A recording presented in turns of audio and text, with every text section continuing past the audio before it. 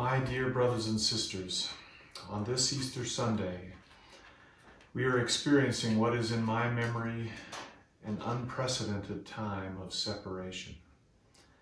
Social distancing and stay at home directives have entered our vocabulary and have taken their place in a way that is both current and immediate, and, and also which feels at times like it will be, both, be lasting and perhaps permanent. We cannot help but wonder how this experience will have changed us, even after the pandemic has receded and we are able to meet again in person and worship together. This pondering and wondering is a natural human response. At times, as time has marched on and days have turned into weeks, I have become increasingly aware of how much I miss by not seeing the faces of many of you looking back at me as we sit together in sacrament meeting. I gain strength from your smiles and nods and kind words, and even just by your presence. I believe we all need that fellowship, and I believe we all benefit from the connection to each other that comes from shared worship of God and of His Son, Jesus Christ. I have also come to realize how much more difficult it is for me to fulfill my sacred responsibilities as your bishop to seek out those in need when I have such limited opportunities to see your faces. I have certainly felt God's guidance and direction over these past few weeks, and I am humbled by and grateful for the gift of those promptings. But the visual cues of seeing your face and your faces in order to prompt direction to me by the Spirit have been a, a consistent support and blessing to me in my service over the last two years. To help to counter what we have lost for a season, you've probably noticed that the Ward Council has increased our use of technology, Facebook, text, email, phone calls, church videos, Zoom firesides, virtual Relief Society and Sunday school lessons, virtual concerts, etc. These are all designed to create new pathways to connectedness. Today's brief Easter message, delivered by video, is another example of this effort. Even if you are not particularly comfortable with these resources, I encourage you to take the time to learn how to use them, and I invite you to invest in participation. I know your friends and neighbors need you, and I believe you need them. This morning, brothers and sisters, I want to share with you a brief message of hope and about hope. The hope I speak of is the hope in Jesus Christ and his atonement. Elder Uchtdorf said it this way Because of the sacrifice of Jesus Christ, we need not fear, for we will live forever, never to taste of death again. Because of his infinite atonement, we can be cleansed of sin and stand pure and holy before the judgment bar. The Savior is the author of our salvation. Those who come unto Christ, repent of their sins, and live in faith will reside forever in peace. Think of the worth of this eternal gift.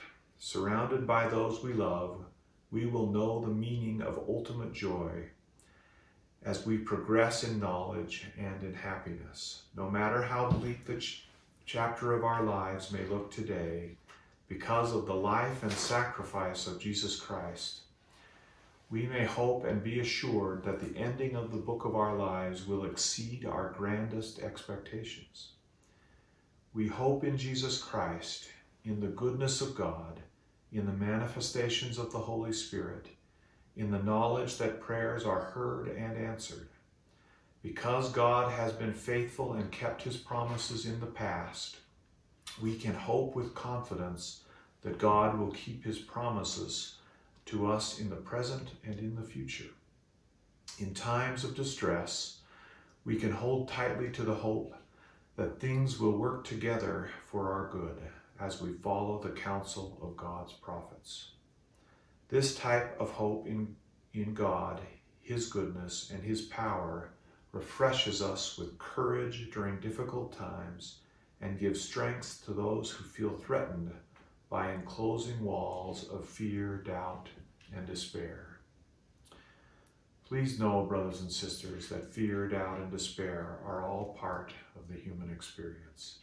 The natural man and woman that Paul spoke about in the scriptures is drawn to these responses, especially in moments of stress and challenge. No one is, is immune from these moments, but we need not dwell on them.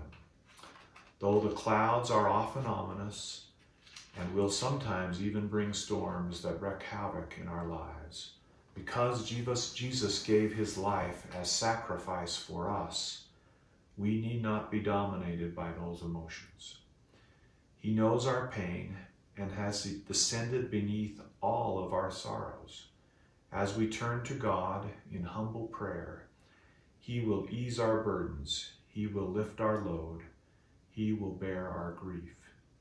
As we seek forgiveness of Him, He will grant us new assurance, He will help us forgive others, He will light the path ahead perhaps only one step at a time, and only as we take that step.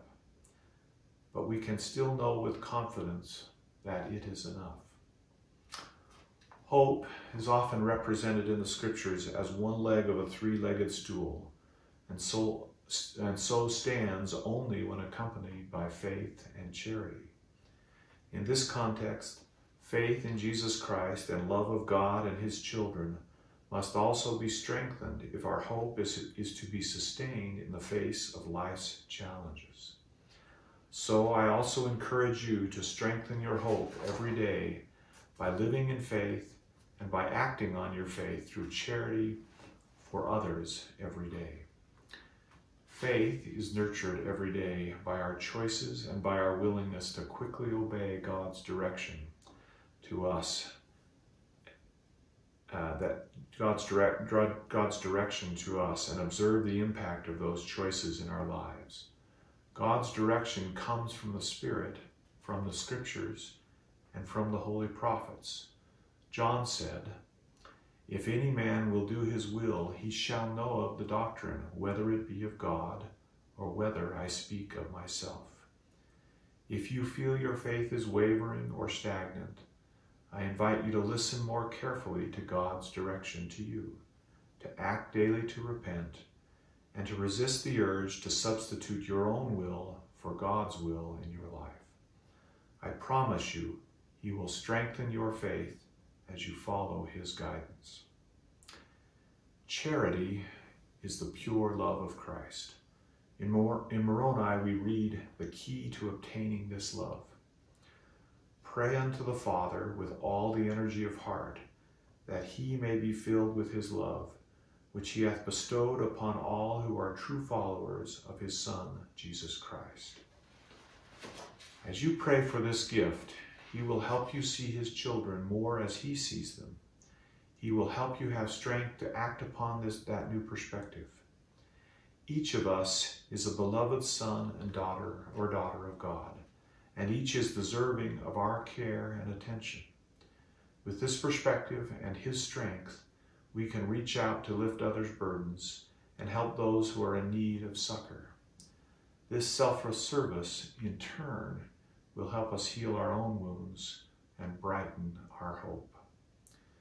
I bear witness to you, brothers and sisters, that there is reason to hope for better days and for return to normalcy we will return to work and school and church.